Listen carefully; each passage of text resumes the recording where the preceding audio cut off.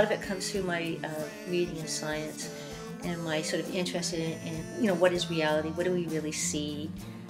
Particularly when you're looking at the microscopic and the macroscopic in the world. I mean, we, we start to see things that are, well, beyond what our vision can see. So as you're walking in the world, you have this one idea about what is reality, but really, there is there is energy, there's gravity, there are electrical forces, all out there. We don't see them; they're all out there. There are microscopic entities sort of in the world. So I, I'm just sort of aware of that, and then I found that by taking kind of an abstract image and overlaying it with figurative uh, movement, I can kind of create two worlds colliding.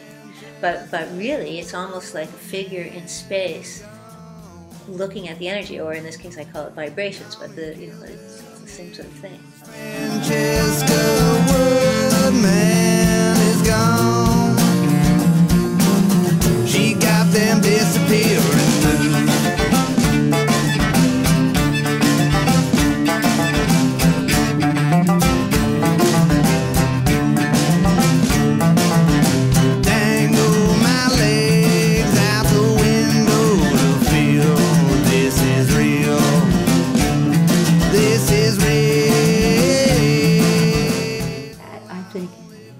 Ultimately later, even myself, when I look at the pieces after they were done, I start to see it's very informative about how do we see things and what do we see, and um, uh, it's a, I, I find it's a, sort of almost a new layer of knowledge. I don't really know what it means.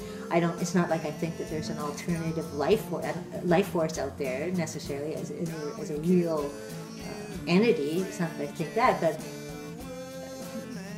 uh, you know, scientists are certainly trying to grapple with, you know, what is the gravitational force? I mean, you know, we kind of know what it does, but we don't really know what it is, and nobody can really see it. So it's there, and also human emotions and human relationships. I mean, we have an electrical force happening with us right now. You and I are sort of captured in this discussion together.